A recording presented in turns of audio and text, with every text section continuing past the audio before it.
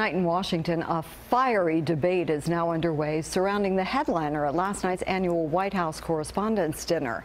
Michelle Wolf taking no prisoners during her stand-up routine, which left some people laughing and others appalled.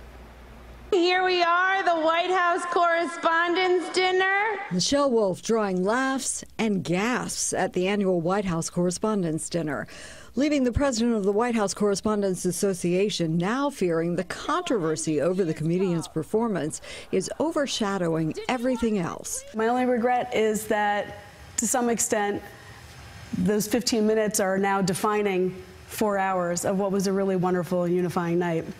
And I don't want the cause of unity to be undercut. Wolf got personal when talking about White House Press Secretary Sarah Sanders, who was sitting at the main table just a few feet away. I actually really like Sarah. I think she's very resourceful. Like she burns facts and then she uses that ash to create a perfect smoky eye.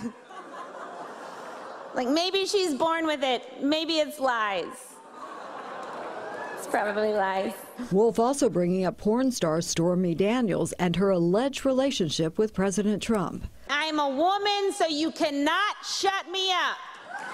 Unless you have Michael Cohen wire me $130,000. Former White House Communications Director Anthony Scaramucci called the evening show an atrocity. I would have loved to have seen the president there, uh, but I'm very happy that the president was not there to listen to that because you know, he may have gotten up and walked out, and that would have been even more devastating uh, to the tension that's going on between the White House and the press. President Trump skipped the media event, choosing instead to attend a campaign style rally in Washington, Michigan. I was invited to another event tonight, the White House Correspondents' Dinner.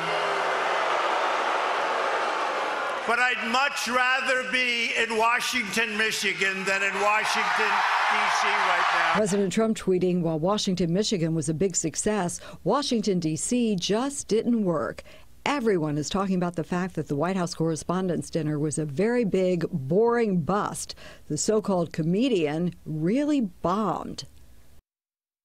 Wolf is said to be a rising star on the stand-up circuit with appearances on The Daily Show with Trevor Noah and a half-hour talk show premiering soon on Netflix.